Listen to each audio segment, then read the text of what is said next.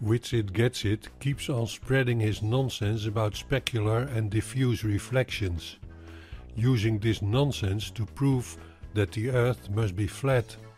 Let's hear what he has to say we have something called specular reflections. And if you see like the mountains reflected on the body of water here, and we actually have observations from many dozens of miles away where you see really big mountains reflected off the water. If the surface is not flat, you cannot get a specular reflection. If you see here, there's just a little bit of disturbance in the water and you see that the image is being messed up. Now, if this water was actually bending convexly, you wouldn't be able to get a specular reflection. In order to get a specular reflection, the water has to be flat.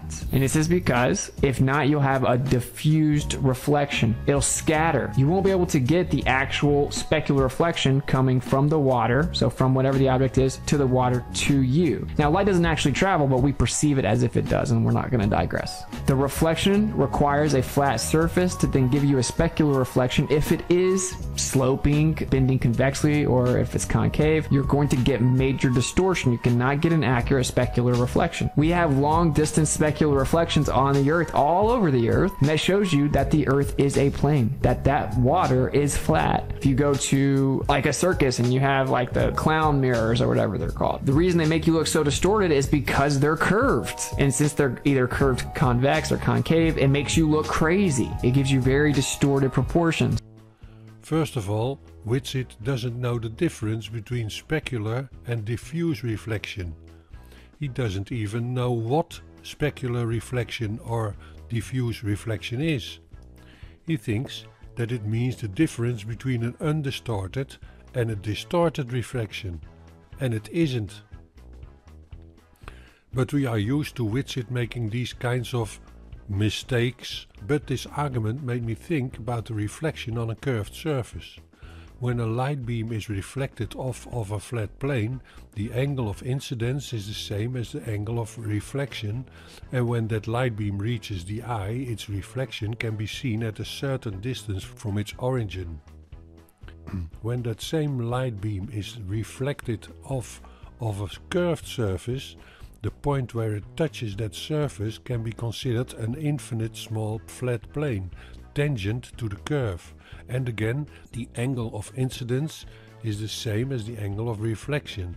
And when that light beam reaches the eye, its reflection can be seen at a certain distance from its origin, but at a different distance than in the case of the flat plane.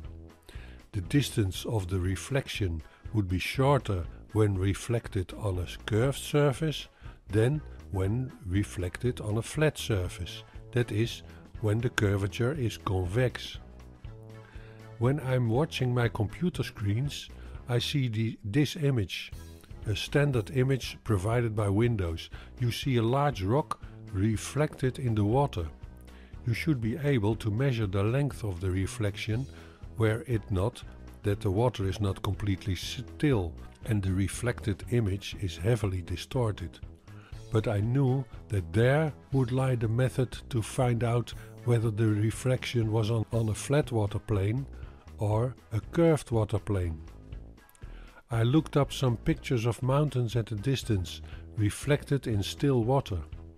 I measured the length of the refraction and compared it with the length of the, of the reflection when the image just was mirrored vertically, a situation you would have when the reflection was off of a flat water plane.